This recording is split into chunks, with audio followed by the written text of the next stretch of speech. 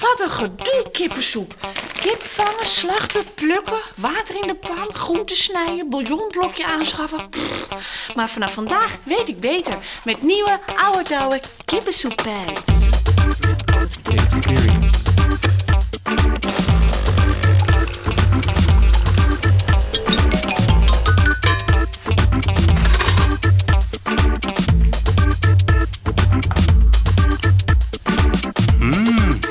Smaakt naar koffie. Lekker warm.